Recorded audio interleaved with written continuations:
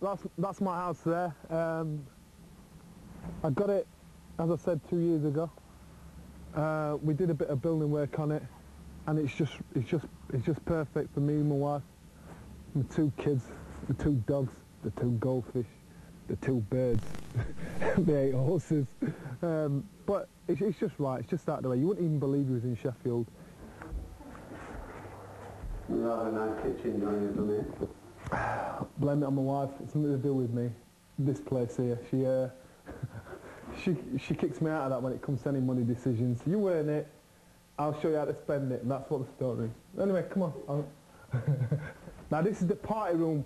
Whenever Debbie's away, I've got about 20 women in it. It's great. We turn the jacuzzi on. She takes the kids with her and we just party. right, this is Arnie. Hiya, son.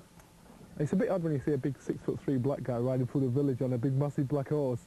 I, don't, I don't think you see many of them around, but they've got used to me now. Yes, I do look like a bit of a girl, but hey, good boy, Arnie. Good boy. We've done a bit of cross country, and he's he's saved my life. He's really taken care of me, so he's he's been a good lad.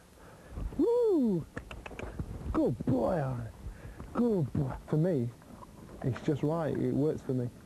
You know, when, you know, as I said, I looked at a video of my opponent, and he's a, a seriously hungry guy.